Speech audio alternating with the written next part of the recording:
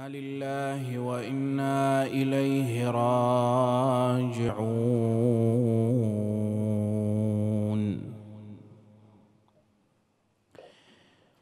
وأفوض أمري إلى الله.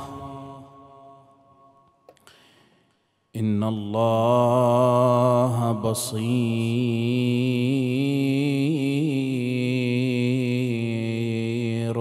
بالعباد.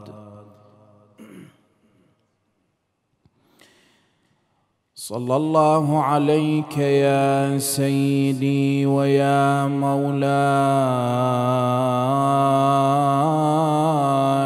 يا رسول الله. صلى الله عليك وعلى آلك المظلومين.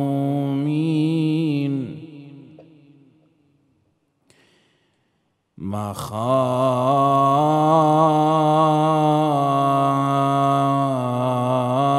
من تمسك بكم أمن من لجأ والتجا إليكم.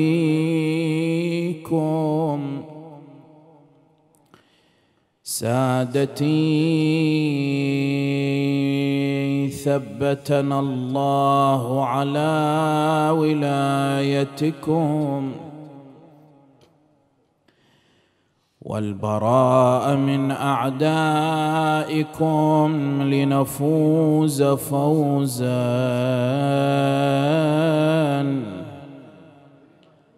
عظيما.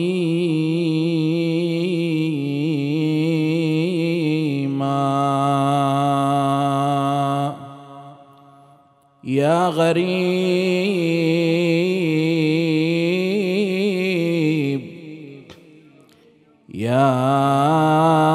مظلوم كربلاء. لا تأمن الدهر لا تأمن الدهر إن الدهر ذو غير وذو لسان. في الدنيا ووجهين.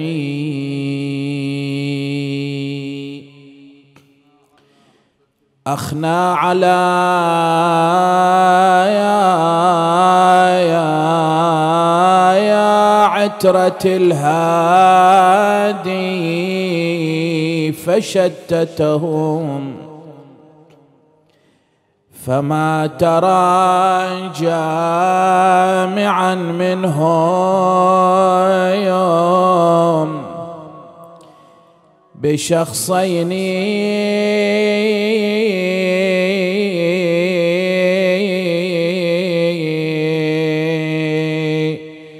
بعض بطيبة مدفون وبعضهم بكربلاء وبعض بالغريين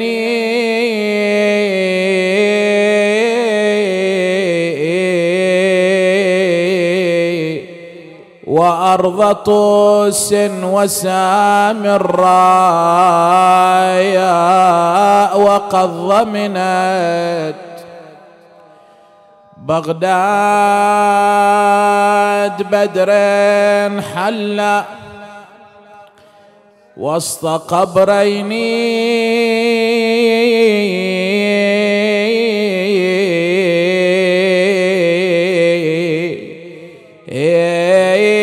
يا سادتي ألمن أنعى أسا ولمن. أبكي بجفن من عيني قريحين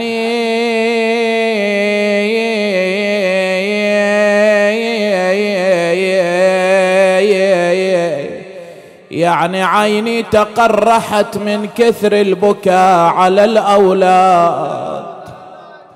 أبكي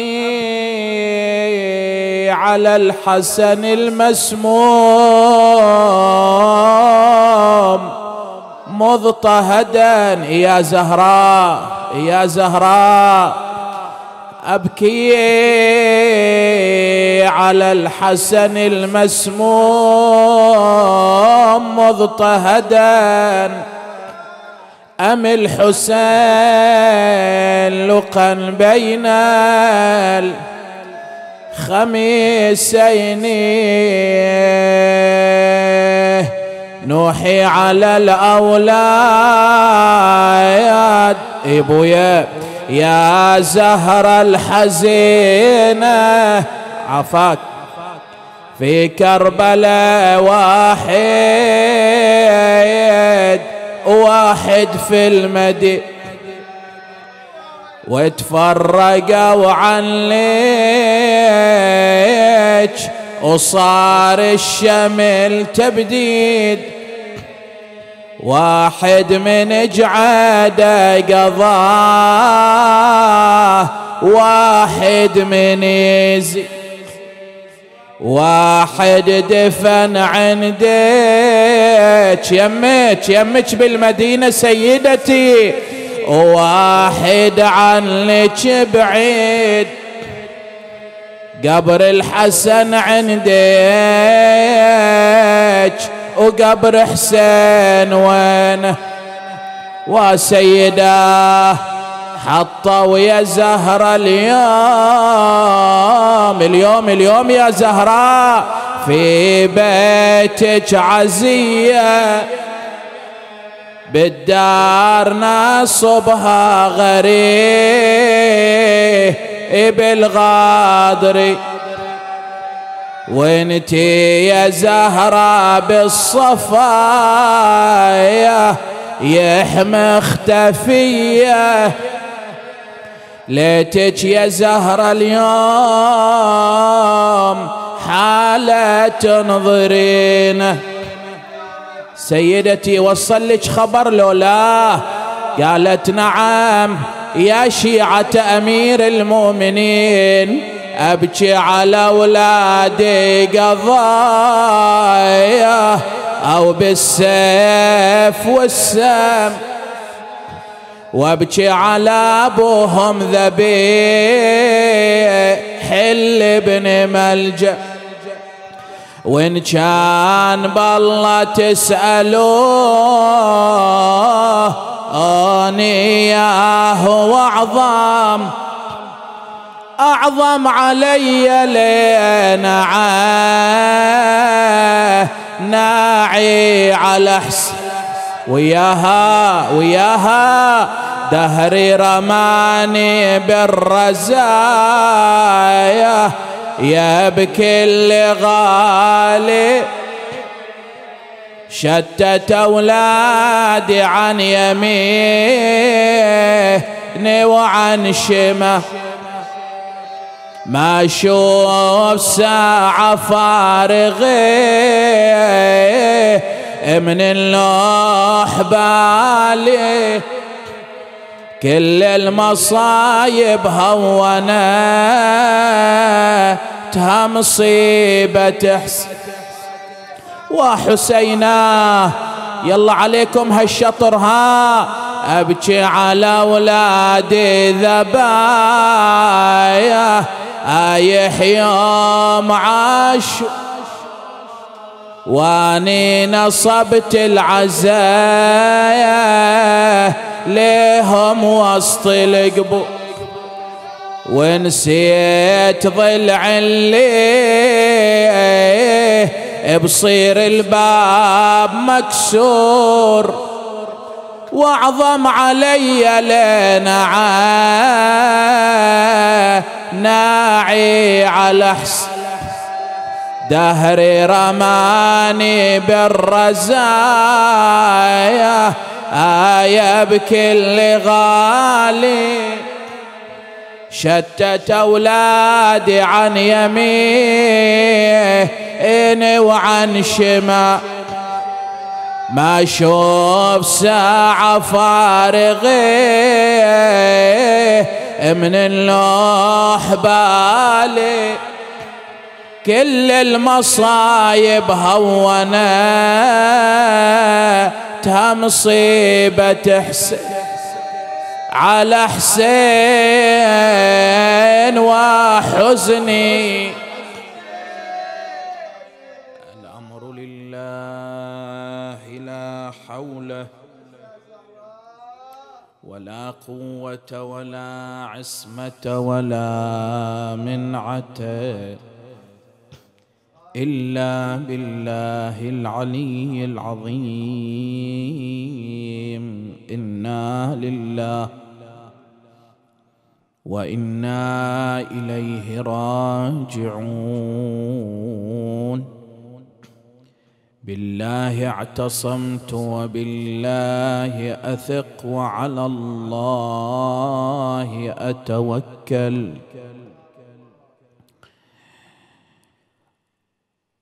ورد عن النبي الأعظم صلى الله عليه وآله وسلم أنه قال الحسن والحسين إمامان قاما أو قعدا صدق رسول الله محمد.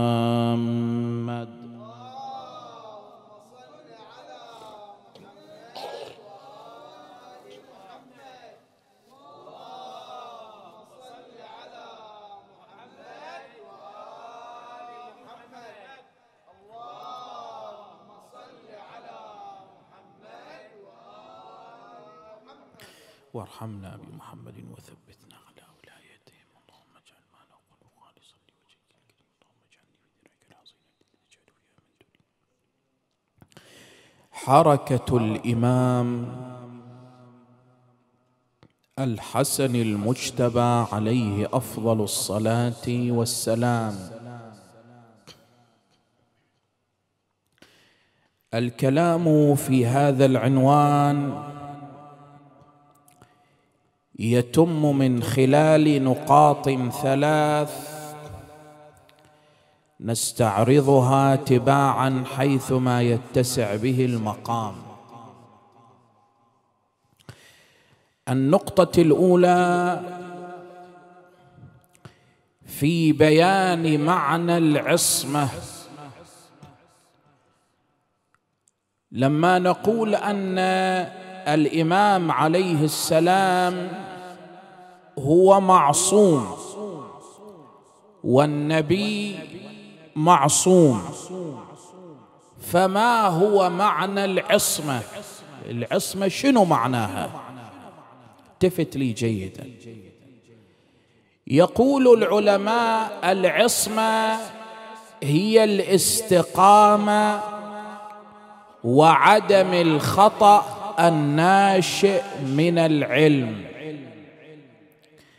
لما نقول أن النبي معصوم والإمام معصوم فهو لديه استقامة. هذه الاستقامة تجعل المعصوم لا يفكر في معصية فضلا عن ارتكابها. ومن أين حصل على هذه الاستقامة؟ التفت لهنا. من أين حصل على هذه الاستقامة المعصوم؟ حصل عليها عن طريق العلم. والعلماء يقولون العلم على ثلاث مراتب ثلاث درجات. أول درجة من درجات العلم وهي درجة علم اليقين. الدرجة الثانية عين اليقين. الدرجة الثالثة حق اليقين. خل أضرب لك مثال حتى أوضح لك هاي الدرجات الثلاث. مثلا أنت تمشي في طريق ما وترى دخان يتصاعد إلى عنان السماء. أنت لا ترى نارا وإنما ترى ماذا؟ دخان يتصاعد إلى عنان السماء. هل أن هذا الدخان دخان نار؟ ما أدري. دخان مصانع؟ لا أعلم. دخان أشياء أخر؟ لا أعلم. بمجرد أن ترى الدخان من بعيد يتصاعد إلى عنان السماء. يقولون الآن أنت في أول درجة من درجات العلم وهي درجة علم اليقين. الآن تعلم أن المكان الفلاني فيه دخان. دخان شنو؟ الله أعلم. بعد ساعة تتبحث وراء هذا الدخان تراه لا أكيد نار تشتعل أمام عينيك. يقولون بمجرد أن ترى النار بأم عينيك ترقيت من الدرجة الأولى إلى الدرجة الثانية وهي عين اليقين. تقترب من النار تحس بحرارتها بلذعتها تصل إلى أعلى درجة من درجات العلم وهي درجة حق اليقين حقا أن هذه النار شنو؟ نار حارقة. اذا هذا درجات العلم. العلم له ثلاث مراتب. بعد بيان هذا نقول المعصوم في أي درجة من درجات العلم؟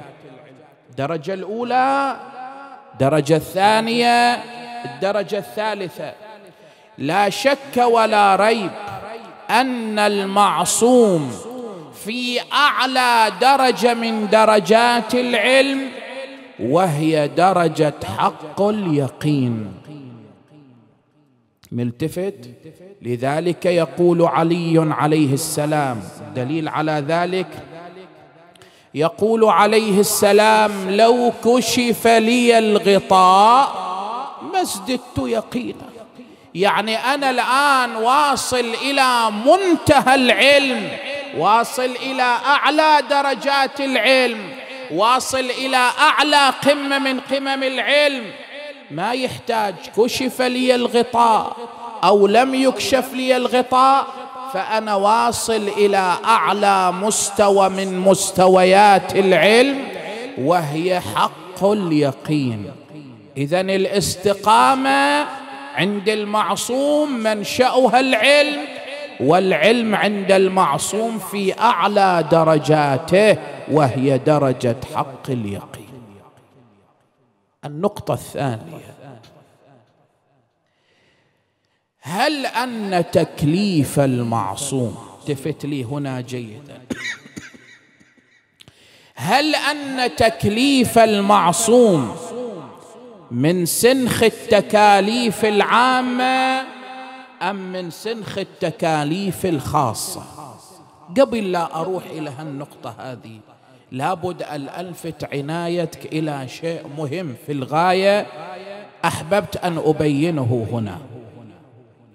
لما نقول أن المعصوم معصوم عند استقامة وناشئها الاستقامة العلم أن المعصوم معصوم في كل شيء علميا وعمليا.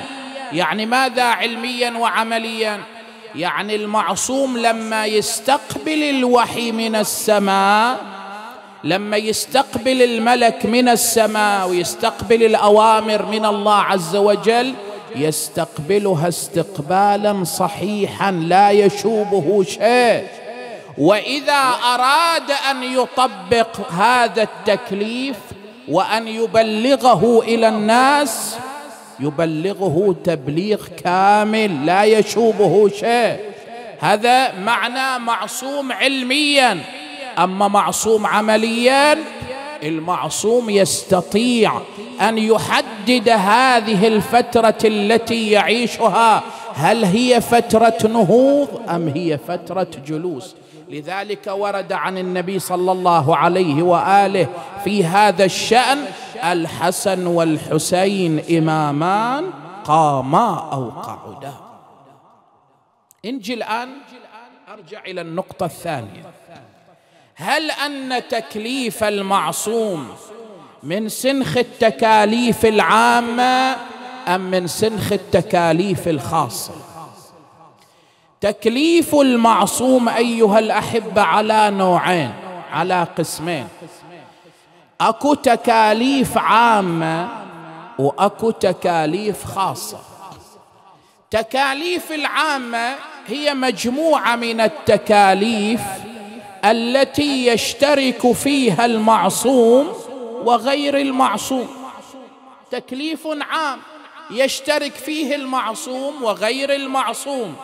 بينما التكاليف الخاصة تكاليف فقط للمعصوم لا يشترك فيها غير المعصوم. خل أجيب لك مثال. مثلا الآن من التكاليف التي يشترك فيها المعصوم وغير المعصوم في التكاليف العامة؟ إخواني وإن اشترك المعصوم فيها مع غيره إلا أن للمعصوم خصوصية. التفت لهنا جيدا مثلا من التكاليف اللي يشترك فيها المعصوم وغير المعصوم. مثلا غسل الميت.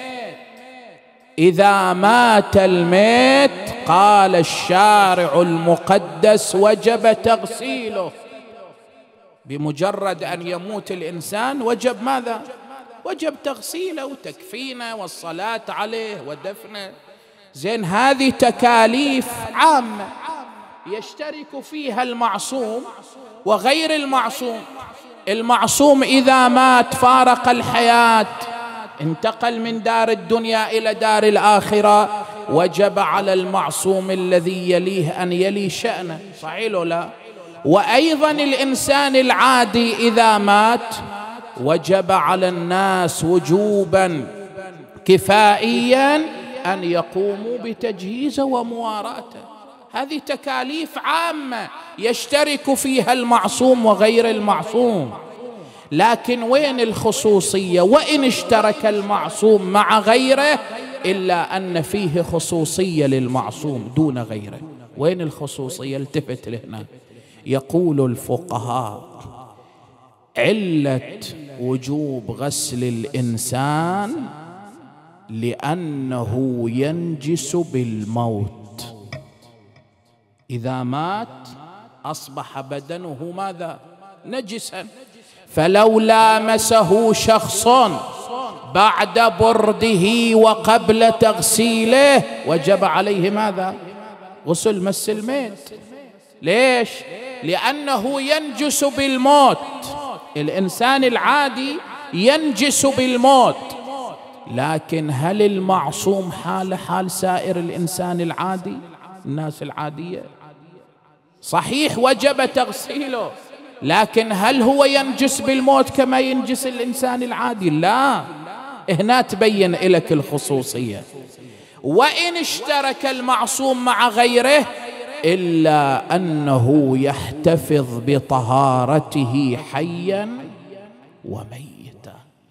ولذلك شوف وصية الزهراء عليها السلام لأمير المؤمنين تقول له يا أبا الحسن غسلني من فوق ثيابي هذه فإني طاهرة. هو إجراء ماء الغسل فقط إجراء ماء الغسل وإلا الزهراء عليها السلام ماذا؟ طاهرة. اذا اذا مما يدلل إلى أن الخصوصية مع وجود هذا التكليف إلا أن المعصوم له خصوصية. هاي تكليف عام. بينما التكليف الخاص التكليف الخاص للمعصوم فقط دون غيره. لا يشترك معه معه أحد من الناس. مثل ماذا؟ مثل صلاة الليل. صلاة الليل من الأعمال المستحبة التي يتقرب بها الإنسان إلى الله سبحانه وتعالى لكن بالنسبة للنبي الأكرم صلاة الليل مستحبة لو واجبة. ورد في الرواية عن النبي الأعظم محمد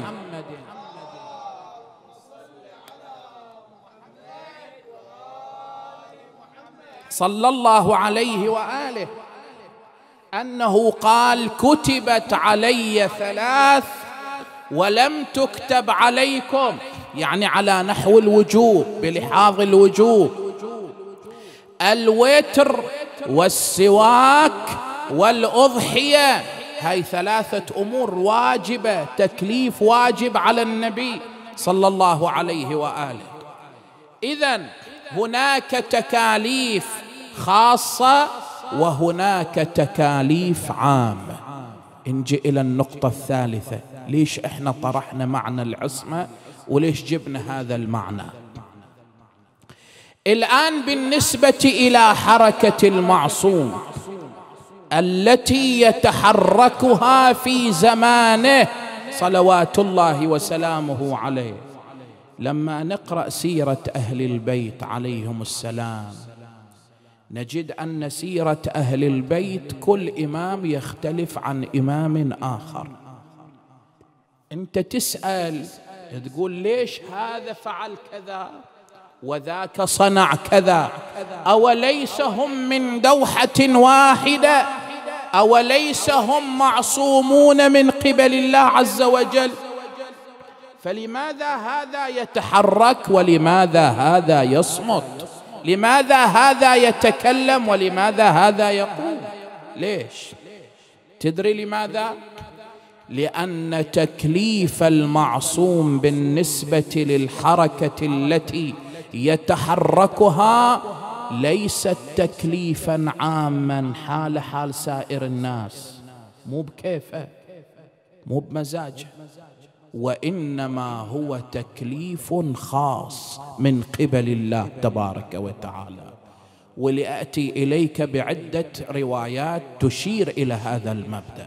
مثلا ورد في الرواية عن الإمام الصادق عليه السلام أنه قال نزل جبرائيل على النبي الأكرم قبل موته بلحظة من اللحظات. آخر ساعة من ساعات رسول الله.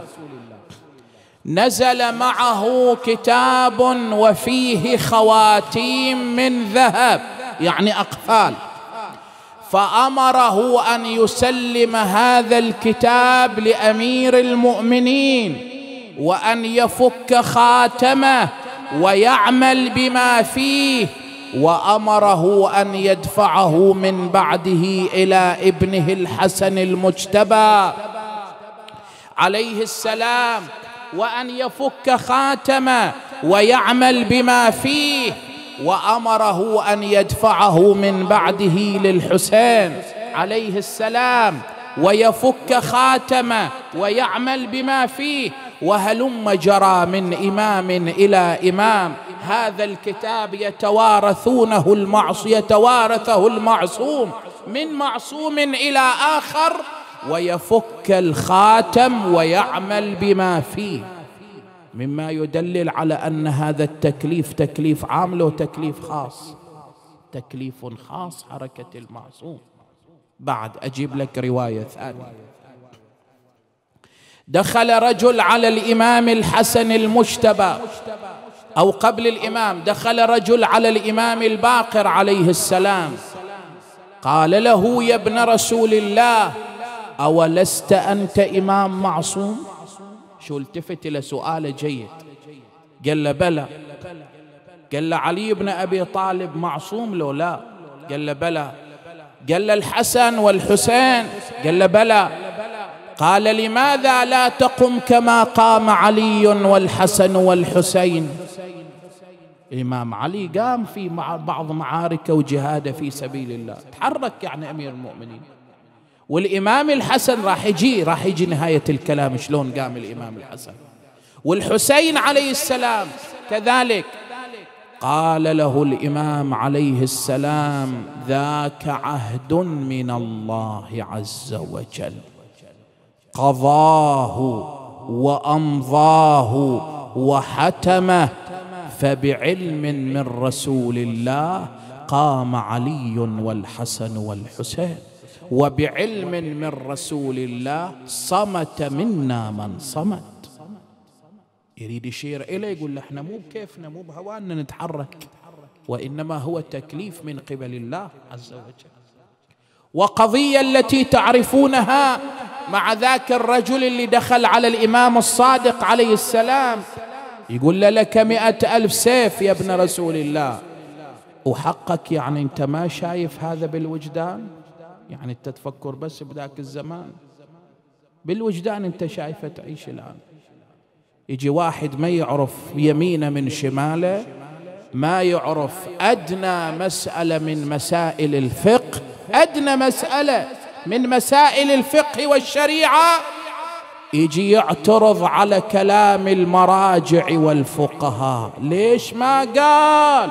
وليش ساكت؟ ولماذا لم يتحدث؟ انت تعال مولانا بسألك سؤال. انت أدنى مسألة من مسائل الفقه ما تهتدي لجوابها. تحط نفسك في مصاف الفقهاء والمراجع. وانت مس خلي المسألة. يعني الآن حقك هو داخل بيته مكون من أسرة وهو وأولاده. ما يقدر يتخذ قرار واحد في داخل أسرة بسيطة معدودة الأعداد. عدل لا. ما يقدر يتخذ قرار داخل بيته وأسرته ما يقدر يتخذ قرار. بيرجي يعلم الفقهاء شلون يتكلمون وشلون يتحدثون. هذه مصيبة عظيمة بعد. فهذا بالوجدان يعني يقول له لك مئة ألف سيف يا ابن رسول الله. قال الإمام عجيب لمئة ألف سيف وأنا لا أعلم بهم وإنت إن شاء الله شنو فيهم؟ قال له أنا واحد تخليني يا ابن رسول الله قائد من قوات جيشك. التفت الإمام إلى أحد غلمان. الإمام بعض الأحيان يعني ماكو طريق للعلاج والحل إلا هالطريق هذا فيلتجئ إليه المعصوم. قال له اشعل النار؟ اشعل التنور؟ أخذت النار تشتعل التفت إليه قال له أولست أنا إمامك معصوم مفترض الطاعة؟ قال له بلى. قال له يلا تفضل. يلا. تطيعني مو أنا إمامك هي الولاية المطلقة. يلا تفضل. قال له أجرني يا ابن رسول الله أقني. شوي ودخل واحد من أصحاب الإمام. واضع نعليه تحت إبطين. سلم السلام عليك. قال له وعليك السلام.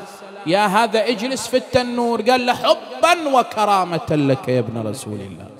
وجلس في التنور يسبح الله. إمام التفت إليه قال له عندك مثل ذولا عشرة.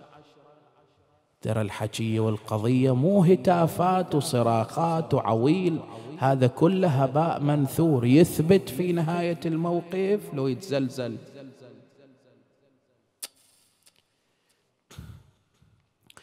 إذا هذا مبدأ عمل عليه أهل البيت عليهم السلام. ويدخل رجل على الإمام الحسن. عليه أفضل الصلاة والسلام. يقول له يا ابن رسول الله لماذا لا تقم ليش لماذا لا لم تتحرك؟ فالتفت إليه الإمام الحسن قال له يا هذا أولست أنا حجة الله على الخلق؟ قال له بلى. قال له أوليس قال في في رسول الله وفي أخي الحسن والحسين قام أو إمامان قام أو قعد قال له بلى. قال له يعني أنا إمام قمت أو لم أقم فأنا ماذا؟ إمام حجة الله على الخلق. قال له بلى. قال له وأما حجة علتي بهذا الأمر الذي أنا مضيت عليه ما أريد أوضح أكثر من هذا. زين. لعلة وجود أمر كان في زمن رسول الله صلى الله عليه وآله لأنه صالح بني ضمر وغيرهم. لكن مع ذلك أيها الأحبة مع كل هذا إلا أن الإمام لم يسكت. الإمام الحسن ما سكت ابدا وما خضع. عين جيشا وعلى قيادة الجيش عبيد الله بن العباس. ابن عمه وتعرف هذا شنو يعني ابن عم الإمام الحسن؟ هذا يطلب ثار الرجل قاتل إلى أولاد اثنين. قاتلهم إلى أولاد اثنين يعني طالبة بدم. مع ذلك شوف الدنيا شو تسوي بالإنسان؟ ينحدر من الثريا إلى الثرى. أرسل إليه أموال في الليل المظلم وترك جيش الإمام الحسن. مو بس هو لوحده لا خذوا يا جماعة بعد ما دام هذا القائد. ها؟ ما دام هذا رئيس القوم. فما بالك بالذي تحت يديه وترك الإمام الحسن وانضم إلى الجيش المقابل. وكذلك عين الحسن عليه السلام شخصا آخر ونفس القضية. وكذلك عين الإمام الحسن عليه السلام شخصا ثالثا ونفس القضية. لا الجماعة ضمنوا للرجل أن يسلموه الحسن مقيدا. حتى جو إلى لو شئت لأسلمناك الحسن مقيد. وش تريد يعني ما دام أناس هكذا فعلهم زين؟ والحركة مو تريد لها رجاجيل تنهض بها؟ لو لا. لو بس هتافات وصراخ وعوية تحتاج إلى رجال. مع ذلك شوف انموذج الناس. مثل ذاك اللي يجون إلى إذا صار وقت المعركة سوى؟ صعد على التلة وأخذ يتفرج. قال تعال شو القضية أنت؟ ساعة منا وساعة منا. وإذا صار المعركة والقتال صعدت على التلة وتتفرج على القتال. قال أنا عارف القضية. أنا عارف الصلاة مع علي بن أبي طالب أتم والجلوس مع فلان على المائدة أتسام والجلوس على التلة فوق الحرب أسلم. أنا عارف القضية. أمثال هالنماذج هذه شلون الإمام الحسن ينهض بعد؟ أمثال هالنماذج والأشكال كيف ينهض الإمام الحسن صلوات الله عليه؟ مع ذلك أنه ظلم ظلامة شوف ظلامة الإمام الحسن عليه السلام لم يتعرض إليها أحد. أول ظلامه يمرون على الإمام الحسن وبأي صيغة يسلمون عليه.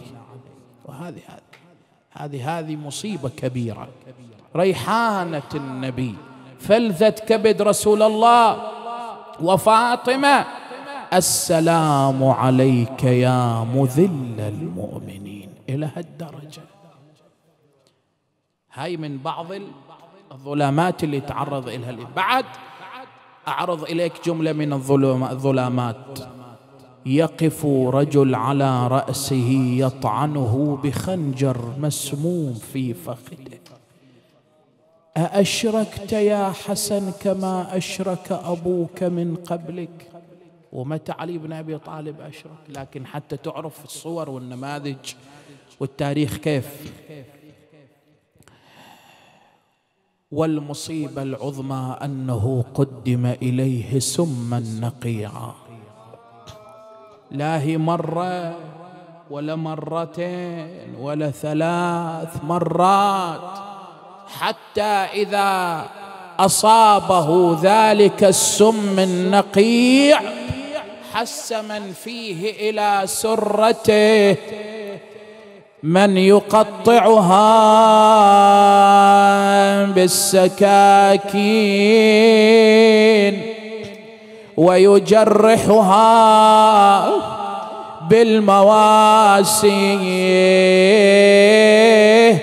خرجت من الدار وأغلقت الدار على الإمام الحسن. وبقي إمامكم يجود بنفسه. يا الله يا الله واس الزهراء. وكلما جرى السم في بدنه أخذ ينادي وجدايا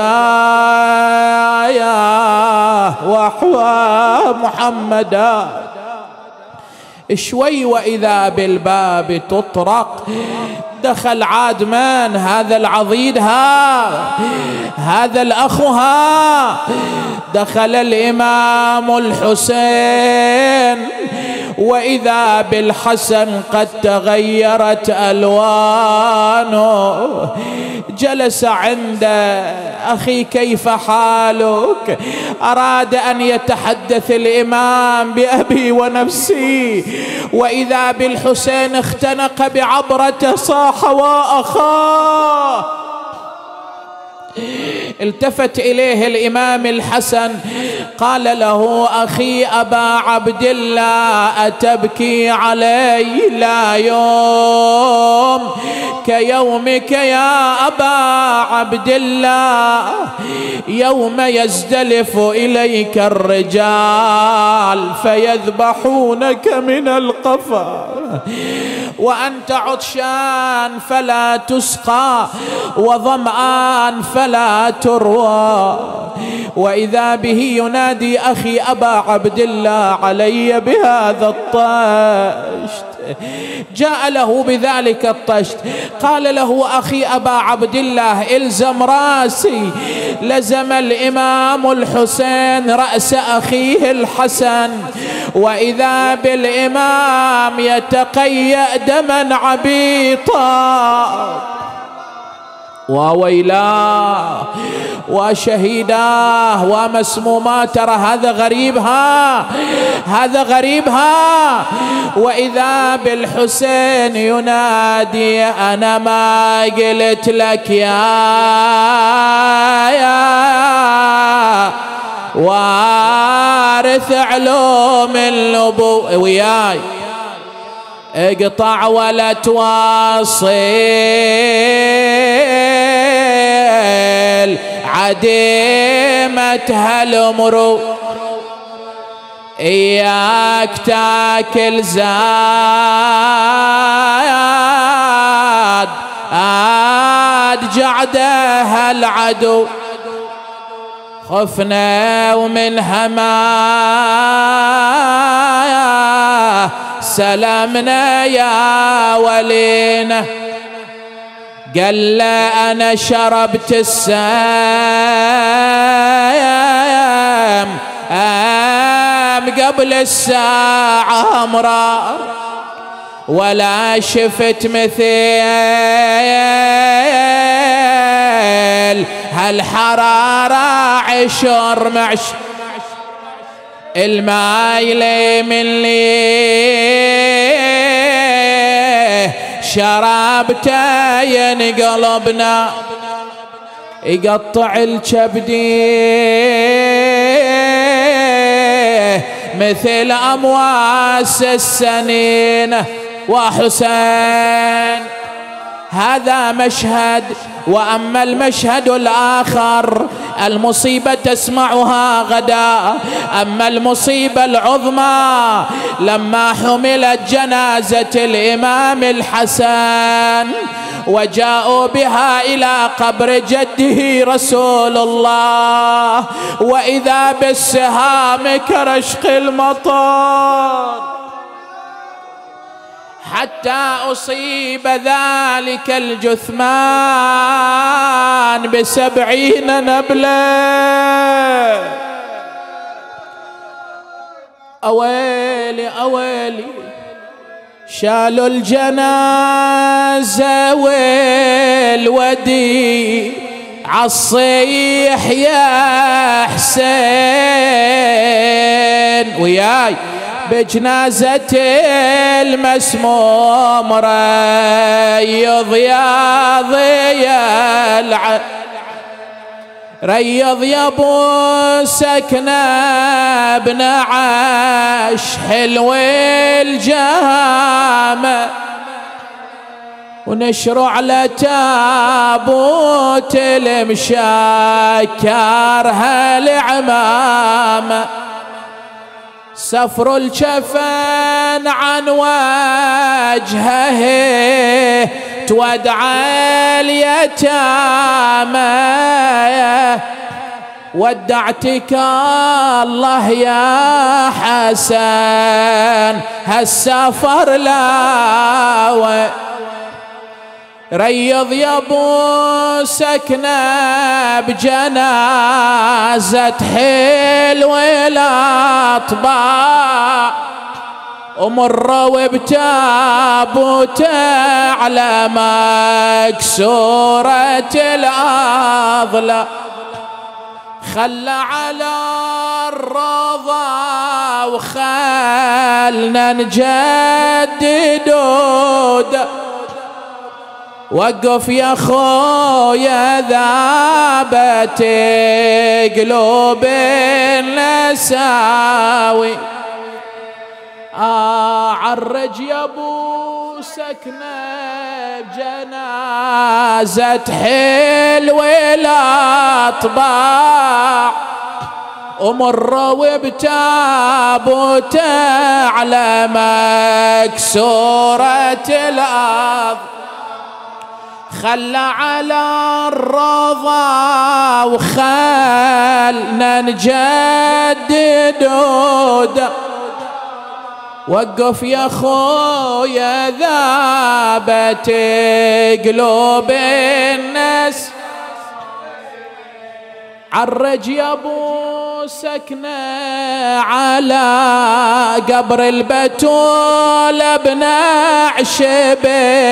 عشبنها وقبره يا خويا لا تحفر بعيد عنه دفن بكتورها بالشتي هوين حزن لا وين ماشي بكعبة الوفاد يا حسين